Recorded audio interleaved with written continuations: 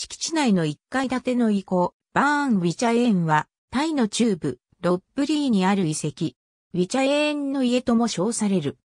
ギリシャ生まれで1675年にタイに渡来した後、オーナーラーイの下で大臣を務めたコンスタンティン・ホールコンの邸宅の後であり、チャオプラやウィチャエーンの家と呼ばれるが、もともとはフランス大使のために建てられた建造物であった。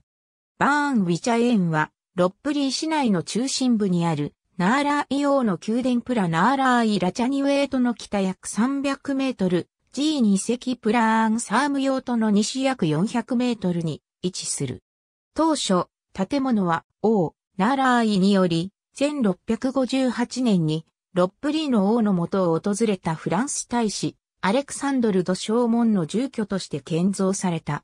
その目的によりこの複合建造施設は当初、施設を迎える王室の迎賓館として、バンルアン、ラブラッドサットと呼ばれた。その後、王に仕えたコンスタンティン・ホールコンの官職名であるチャオプラヤー・ウィチャエーンにちなんで付けられたバーン・ウィチャエーンの名称で知られるようになった。構造物の中心部には、ヨーロッパと太陽式を融合して建てられ、首楼を備えたカトリックのチャペルがある。その西側には、大使の邸宅があった。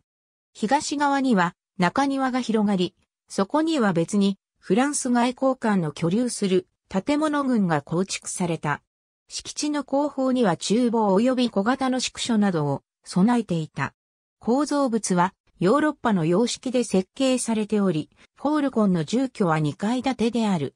窓や扉の上部には精細に彫刻された化粧漆喰の装飾が施され、その一部が保存されている。入り口に向かって半円形の階段がある。ありがとうございます。